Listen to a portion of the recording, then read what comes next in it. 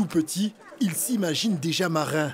Des enfants accompagnés de leurs parents, ils sont à bord de l'Hermione. Aussi bien par les gabiers, mais également par les gabières. Dernier jour d'escale à Marseille pour cette réplique de la célèbre frégate.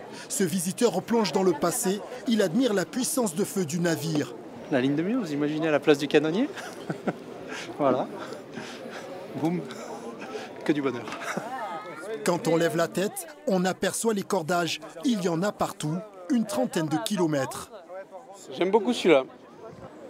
C'est quelque chose d'ancien, de, rustique, euh, qu'il faut entretenir, mais qui tient.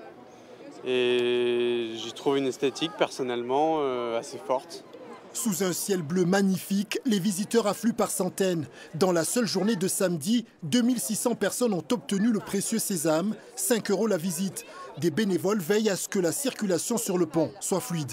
Là, on est à 245 personnes depuis 10 heures ce matin.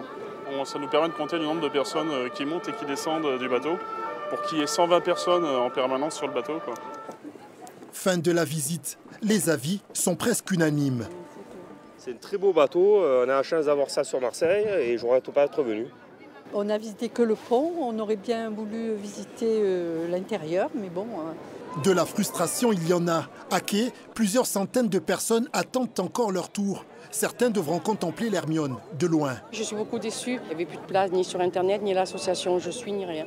Ben, ça fait rien, je suis venue quand même au moins le voir, par plaisir. L'Hermione quitte le vieux port pour trois mois de navigation. Destination finale, Rochefort.